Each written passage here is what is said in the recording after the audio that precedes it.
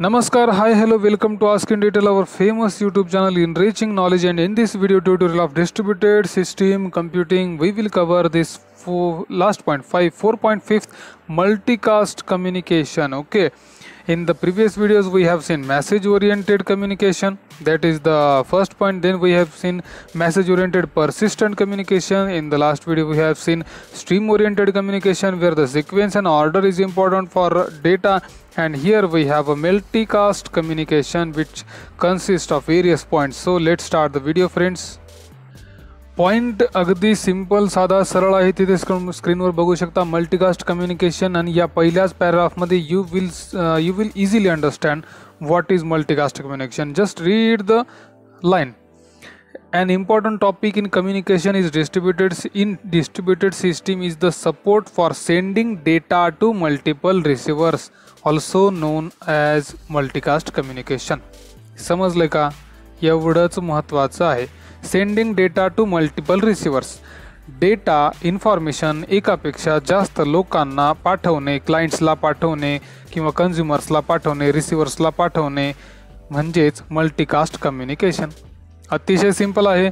One to one communication तर होतच असतं पण एकापेक्षा जास्त जणांना डेटा पाठवणे म्हणजे मल्टीकास्ट कम्युनिकेशन मग आता याच्यामध्ये बऱ्याचशा गोष्टी आहेत बऱ्याचशा अडचणी पण येतात. काय दिलेले नीट बघा. There are several types of multicast communication are used such as application level multicasting पुढे बघा. ॲप्लिकेशन लेवल मल्टीकास्टिंग आहे, एक प्रकार आहे, ठीक आहे. आता ॲप्लिकेशन लेवल मल्टीकास्टिंग म्हणजे काय? तर एखादं ॲप्लिकेशन वापरून किंवा आपण म्हणू की ॲक्च्युअल युजर जेव्हा ॲप्लिकेशन वापरतो, किंवा ॲप्लिकेशन लेवल म्हणजे युजरच्या यूज़ बरोबर आहे? युजर लेवलला युजर लेवलला सुद्धा मल्टीकास्टिंग आहे. बरोबर आहे? म्हणजे प्रत्येक युजर हा त्याच सेम सोर्सवरून किंवा एकापेक्षा जास्त सोर्सवरून सुद्धा डेटा घेऊ शकतो. काय दिले समजून घेऊ, अतिशय सोपं आहे. द बेसिक आयडिया बघा. The basic idea in application level आत्ता जे बोलत होतो तेच इथं सगळं दिलेलं आहे. ॲप्लिकेशन लेवल म्हणजे यूज़ लेवल युजर लेवल काही म्हणा. Multicasting is that organizes into overlay network which is then used to disseminate information to the members एक ओव्हरले नेटवर्क असेल या नेटवर्कद्वारे सगळ्या मेंबर्सला डेटा पाठवला जाईल. मेंबर्सला म्हणजेच मल्टीकास्टिंग आहे. समजतं एकापेक्षा? जास्त जणांना. ठीक आहे? पुढच्या पॅराग्राफमध्ये काय दिले बघा? Lot of communication lot of complication can be solved by using network level routing समजते तुम्हाला? नेटवर्क लेवल रुटिंगमुळे बरेचसे कॉम्प्लिकेशन हे सॉल्व्ह होतात. डिरेक्टली नेटवर्क जर दिलं तर अतिशय सोपं होतं. कम्युनिकेशनमध्ये कुठेही कन्फ्युजन येत नाही किंवा एरर्स येत नाहीत. पुढे काय दिले बघा? A crucial issue is the construction of overlay network problem तर हाच आहे की व्यवस्थित नेटवर्क बिल्ड करता आलं पाहिजे. बरोबर आहे ना? बऱ्याच वेळेला असं होतं की नेटवर्क तिथपर्यंत पोहोचत नाही किंवा काही नोडपर्यंत काही मेंबर्सपर्यंत नेटवर्क पोहोचत नाही. मग त्यामुळे त्यांना ॲक्सेसिबिलिटी मिळत नाही. बरोबर आहे? पुढं बघा काय दिलेलं आहे इथून. In essence there are two approaches. दोन याच्यामध्ये मुद्दे आहेत. कोणते? पहिला मुद्दा first node may organize themselves directly into a tree ठीक आहे? म्हणजे काय? पहिला नोड किंवा पहिला कम्प्युटर आहे तो स्वतः त्यानं काय केलं पाहिजे? मी ऑर्गनाइज देम सेल्फ त्यांनी स्वतःहूनच काय केलं पाहिजे? एका ट्रीसारखं स्ट्रक्चर मेंटेन केलं पाहिजे. म्हणजे स्वतःपासून पुढे जे जे कनेक्ट होत राहतील त्या सगळ्यांना नेटवर्क देत राहिलं पाहिजे. ठीक आहे जसं जसं नेटवर्क ते एक गोष्ट ऐकतो ना चेन नेटवर्क म्हणतो आपण त्याला. एकाने दोघांना करणे, एकाने तिघांना सांगणे, तशा पद्धतीने. पुढे बघा. Meaning that there is a unique overlay path between every pair of node म्हणजे त्या त्या नोडचे किंवा त्या त्या नोडची एक स्वतःची एक नेटवर्क तयार होत राहील. बरोबर आहे? म्हणजे माझ्या, माझं कम्प्युटर तुमच्या कम्प्युटरला कनेक्ट असेल, तुमचं कम्प्युटर तुमच्या नंतर आधी कोण जे होतं त्याच्याशी कनेक्टेड असेल, तर या प्रत्येक लेअरमध्ये एक नेटवर्क असेल, बरोबर आहे? प्रॉपर नेटवर्क युनिक नेटवर्क ठीक आहे? युनिक म्हणजे काय? त्याच्यापेक्षा दुसरं काही नाही. त्याच्यामध्ये दुसरं कोणी नसलं पाहिजे. एक प्रॉपर नेटवर्क असलं पाहिजे. ठीक आहे? अशा पद्धतीने हे ट्री स्ट्रक्चर वाढतच जाईल. ठीक आहे? पुढे बघा काय सांगितलेलं आहे. इथे समजून घ्या आपण. हे टू अप्रोचेस ठीक आहे, आपण बघितलं पुढे the main difference between the two approaches is that the second approach बघा सेकंड अप्रोच काय आहे? पहिला अप्रोच आपण बघितला.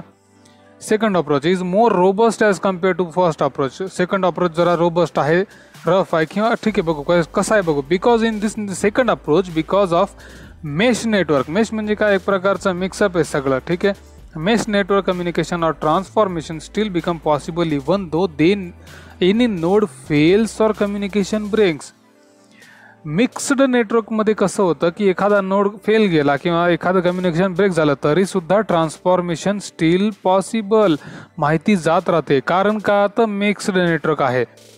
उदाहरणार्थ, आता एखादं एखादं नेटवर्क आहे जे तुम्हाला वायरद्वारे पण दिलं जातं आहे वायफाय पण दिलं जाते. म्हणजे वायर्ड नेटवर्क जर समजा फेल गेलं, तर वायफाय आहेच आहे वायफाय फेल गेलं, तर वायर्ड आहे. समजते तर दोन्ही प्रकारे मेश कन म्हणजे सगळं ऑल इन्क्लुझिव्ह म्हणू शकतो आपण. त्याला पुढे काय दिलेलं नीट बघा. To make this approach more concrete म्हणजे, हा अप्रोच मोर कॉन्क्रीट करण्यासाठी काय केलं जातं? तर D H T based pair to pair system is used याला म्हणतो डेटा हॅश टेबल प्रत्येक, एक प्रकारे इंडेक्स म्हणा तुम्ही. प्रत्येक नेटवर्कचा एक इंडेक्स तयार केलेला आहे इथे. पुढं बघा आता. Matter somewhat assume that multicast group has an associated and well known node that keep track of that node इथं काय दिले बघा? Well known well known node that keep track of nodes ठीक आहे? आता सांगितलं इंडेक्स तयार करणे. प्रत्येक नोडची एक ट्रॅक तयार करणे, प्रत्येकाचा डेटा सेव्ह करून ठेवणे. ठीक आहे? म्हणजे जेणेकरून हे समजेल की या नोडपासून, म्हणजे आता हा एक कम्प्युटर आहे, याच्यानंतर हा एक कम्प्युटर आहे, इथे कम्प्युटर आहे, याच्यानंतर ही अशी चेन वाढत गेली किंवा याच्यानंतर हे असं गेलं, तर प्रत्येक एक टी एच टी असला पाहिजे, एक हॅ इंडेक्स असला पाहिजे, एक टेबल असला पाहिजे, ज्यामध्ये पुढच्या नेटवर्कची सगळी ट्रॅक असली पाहिजे. म्हणजेच काय? सगळ्याचा डेटा तिथे असला पाहिजे. नीट बघा. आता इथे जे आत्ता मी बोललो डायग्राममध्ये तेच आहे. When a new node sends request to join this network it has to contact the main node where all the communication links are togethered जसे जसे नवीन नोड कनेक्ट होत राहतील बघा. काय म्हणा new node sends request to join the network बरोबर आहे ना? साहजिक आहे.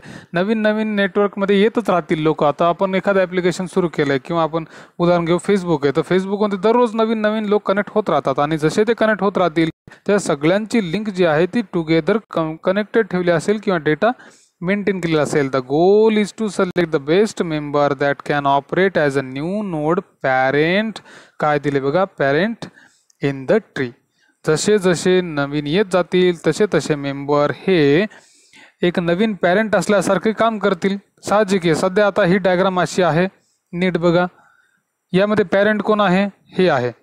पण जसेच याच्या पुढं नोट जमा होतील, तर आता पॅरेंट कोण असणार? हे आहे. तर जसे नवीन नवीन हे जातील, ते पॅरेंट होत राहतील. ऑपरेट ॲज अ पॅरेंट ते नवीन नोट सगळे काय ऑपरेट काय म्हणून ऑपरेट करतील स्वतःला? पॅरेंट म्हणून ॲड करतील आणि जसा जसा ट्री वाढत जाईल मेंबर्स तयार होत जातील.